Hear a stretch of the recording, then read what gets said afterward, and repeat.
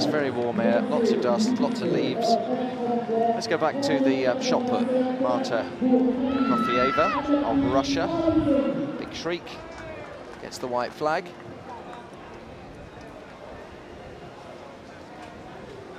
leading, leading, with, with uh, 1273.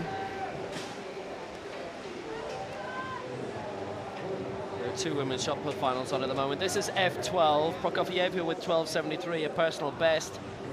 Osia Ilchyna of Ukraine, second 1164, and Tamara Sivakova of Belarus, currently third, 11.20, and it's decided by distance, as it is a one category event. That's a world record. 13 meters 12.